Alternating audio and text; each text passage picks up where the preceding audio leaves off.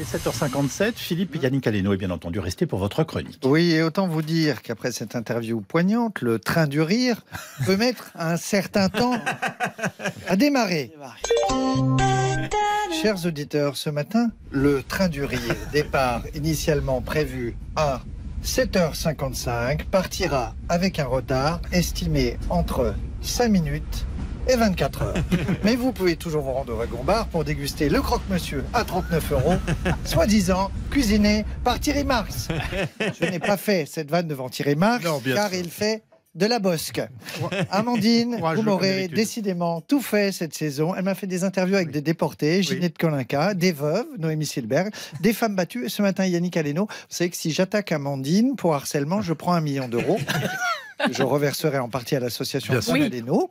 Je garderai 900 000 pour aller dîner chez Yannick Aleno. Voilà. On est neuf, ça va passer. Ça va passer juste, on laissera 5 euros de pourboire et je verserai 100 000. Yannick, bonjour.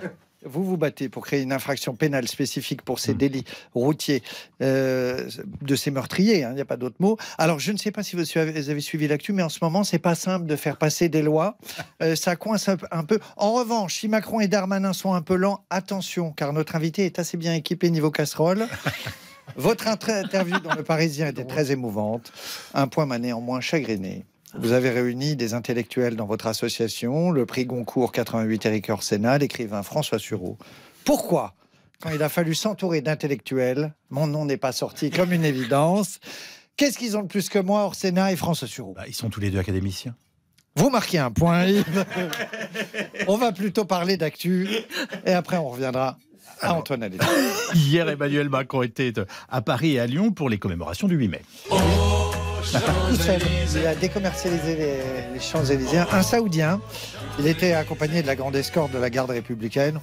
Pas le premier à descendre les Champs-Élysées avec une escorte. Hein, mon Louis? Euh, Il a quand même été au contact des Français. Il a serré la main d'un policier, d'un militaire, d'un CRS, et ça s'est bien passé. Quand il salue des flics, ça se passe bien.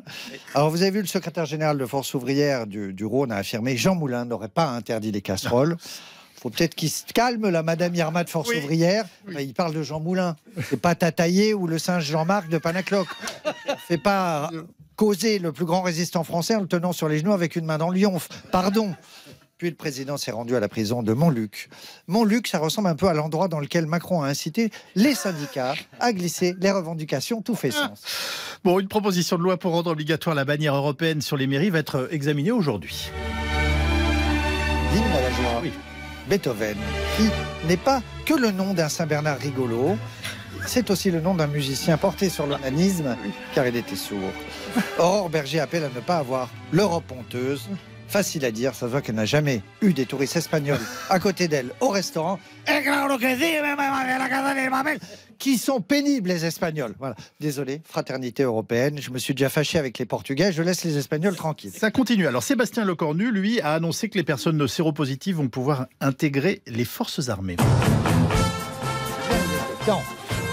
À l'époque du service militaire, j'ai été con. J'aurais dû dire que j'avais le sida, j'aurais été réformé immédiatement. En plus, ça faisait sens, j'arrivais du Club Med. Et à côté de mon intimité, une barre de métro parisien, c'était un savon de Marseille. Il y avait plus de champignons sous mon paréo qu'en forêt de Fontainebleau. C'est que tous les matins, j'allais promener mes chlamydia en laisse pour qu'ils fassent leurs besoins. Oh, c'est pas possible. Bon, parlons cuisine si Parlons vous voulez cuisine. bien. La France se situe en troisième position dans le classement des meilleures cuisines du monde, derrière l'Italie et la Chine. L'Archouma, la France seulement troisième, malgré Yannick Aleno. Cyril Olignac, Jean-Pierre Courtepaille, Christian Hippopotamus. C'est incompréhensible. Alors, c'est que Hippopotamus, Ah, c'est le nom du personnage de la prochaine BD de Bruno Le Maire. Mathieu nous en parlait. Il est porté sur euh, la chose, notre Bruno. Alors, j'ai été très étonné de ce classement parce que quand tu vois la tête de nos gars en cuisine à Paris, ça devrait être le Pakistan en proms. Saluons quand même la victoire des Italiens. Ne soyons pas mauvais perdants. Comme Yves qui m'a confié, c'est sûr que les Rital ont encore triché. Voilà.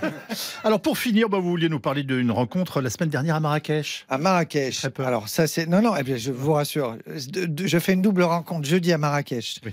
Euh, je partage avec vous ce matin parce que ça, ça dit quelque chose. Je discute à la piscine avec Gérard Boyer, qui est un immense chef étoilé. il a 80 ans et quelques, et il me parle de Yannick avec admiration. Et là, il y a Sylvain, un, vacancier, qui est un conférencier très classe, très chic, qui a toujours son livre à la main, et qui habite euh, Beau Passage, à côté du, burger à l'Eno. Et il me dit, le soir de, du dimanche tragique, il me dit, je rentre de vacances, j'ai rien, je descends au burger. Et c'est le dernier, un des derniers clients. Et il y a une jeune fille qui arrive, euh, qui lui dit euh, bah, installez-vous, machin. Et il lui dit je suis dans les derniers clients. Dès que je suis le dernier, vous me le dites et je, m'en vais. Hein. elle lui dit ok, d'accord. Et au bout de 20 minutes, elle revient, la jeune fille, elle lui dit je suis désolé, vous m'avez demandé, mais je vous, vous êtes le dernier, mais vous pouvez rester. Et Sylvain, qui est très chic, il dit Mais non, non, non, j'habite au-dessus, donc j'y vais.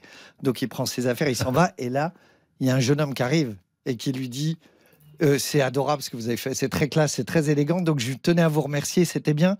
Et ce jeune homme, c'était Antoine Aleno. Et en une phrase, ça dit tout de Antoine Aleno. C'est-à-dire qu'il est venu dire merci au client et il est venu protéger son équipe. Voilà. Donc, longue vie à l'association Antoine Aleno. Et c'était fou qu'il y a quatre jours, on me parle d'Antoine en ces termes. Et ça ne m'étonne pas du tout. Merci d'être resté avec nous, Yannick Aleno. Bon travail à vous.